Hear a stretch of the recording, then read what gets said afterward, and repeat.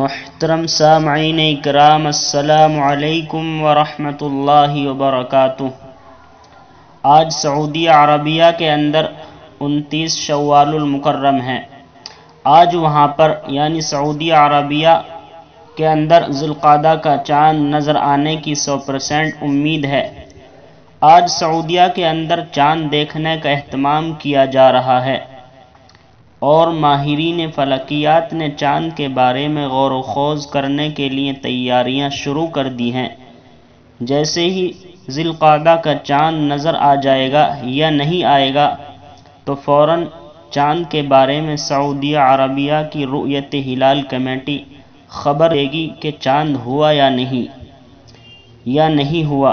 अगर चाँद नज़र आ जाएगा तो कल बरोज़ मंगल में सऊदी अरबिया के अंदर ज़िलक़ादा की पहली तारीख़ होगी इन ताला।